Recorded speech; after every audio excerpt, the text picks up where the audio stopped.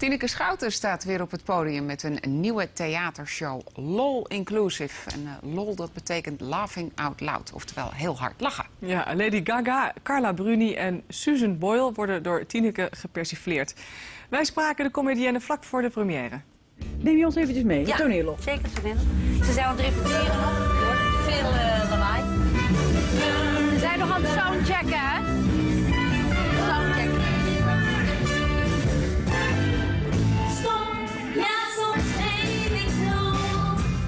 Marta Marie Huibrechts die komt eh, door de jungle presenteren.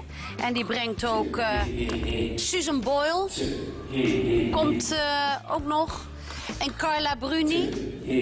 Dat is deze pruik. Was fotomodel en ook pornoster met een mooie stem, mooie derrière. Maar ik was al oud, ik zat zonder vent en toen viel mijn oog op de president. Tineke's nieuwe show zit boordevol nieuwe typetjes uit de showbizwereld. Van Lady Gaga tot Susan Boyle. Niemand wordt gespaard.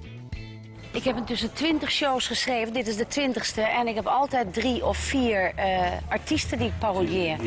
En voor mij is het sport om, om vooral ook eh, de zang eh, te imiteren. Dat vind ik leuk. Was spectaculair. Mooie PR voor mijn carrière. Dit is mijn kleedhokje. Nou, chic hoor. Hier gebeurt dat. Nou ja, heel snel. eh, een, een speciaal schoenenrek.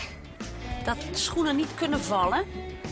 En hier liggen mijn pruiken dan. En hier de kleding. Ik spring erin, pruik. En ik ben gelijk daarna weer hier eh, op het podium. En toen las ik ineens een grote advertentie. Beveiligers gevraagd voor op Schiphol. Voorbij de gaten. Tineke Schouten is tot mei 2011 in de theaters in Nederland te zien. Jij bent er klaar voor, Tineke. Ik heb er zin in. Ja.